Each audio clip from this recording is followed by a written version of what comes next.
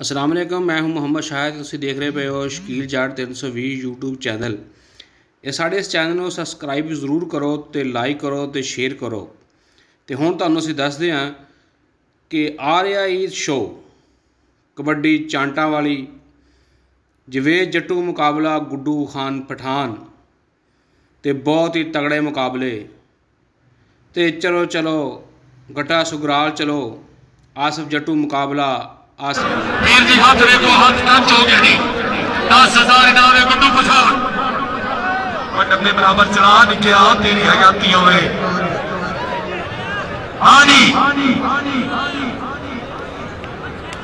ਆਏ ਆਏ ਆਏ ਆਏ ਪਠਾਣ ਕੀ ਪਠਾਣਾ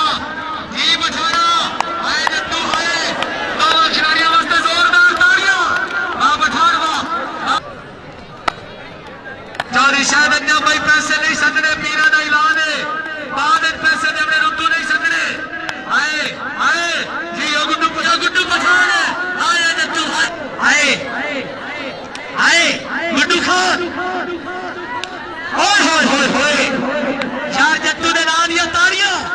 ਜੀ ਪਛਾਣਾ। ਆਏ ਪਛਾਣਾ ਆਏ ਮੇਰੇ ਬੱਚੇ ਗੁੱਡੂ ਖਾਨ ਜਵੇਦ ਜੱਟੂ। ਤੇ ਸ਼ਕੀਲ ਜਾਟ 320 YouTube ਚੈਨਲ ਸਾਡਾ ਤੇ ਸਾਡੇ ਨਾਲ ਰਹਿਣਾ ਤੇ ਦੇਖਦੇ ਰਹਿਣਾ ਤੇ ਤੁਹਾਨੂੰ ਕਬੱਡੀ ਬਾਰੇ ਦੱਸਦੇ ਰਵਾਂਗੇ ਅਸਾਂ। ਸ਼ਕੀਲ ਜੱਟ ਨਫੀਸ ਗੁੱਜਰ ਫੈਸਲਾਬਾਦ, ਇਹਨਾਂ ਦੇ ਮੁਕਾਬਲੇ ਹੋਣਗੇ। ਚਾਂਟਾ ਵਾਲੀ ਕਬੱਡੀ ਆ 20 ਚਾਂਟਾਂ ਜ਼ਰੂਰੀ ਏ। ਮੁਸ਼ਰਫ ਸਰਗੋਦੇ ਵਾਲਾ ਤੇ ਅਬਾਸ ਕਾਠੀਆ ਬਾਵਲਪੁਰ ਤੋਂ।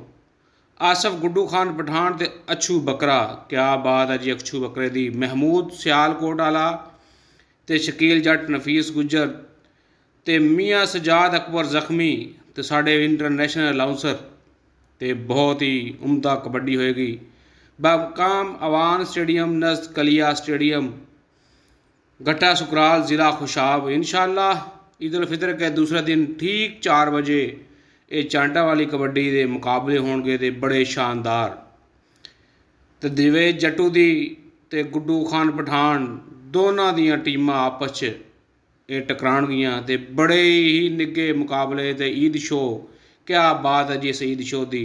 ਤੇ ਦੇਖਣਾ ਨਾ ਭੁੱਲਣਾ ਜਿਵੇਂ ਜੱਟੂ ਤੇ ਗੁੱਡੂ। ਆਏ ਆਏ, ਗੁੱਡੂ ਖਾਨ। ਓਏ ਹੋਏ ਹੋਏ ਹੋਏ। ਚਾਰ ਜੱਟੂ ਦੇ ਨਾਂ ਦੀਆਂ ਤਾੜੀਆਂ। ਕੀ ਪਛਾਣਾ। ਆਏ ਪਛਾਣਾ ਆਏ ਮੇਰੇ ਬੱਚੇ ਆਏ ਆਏ, ਗੁੱਡੂ ਖਾਨ।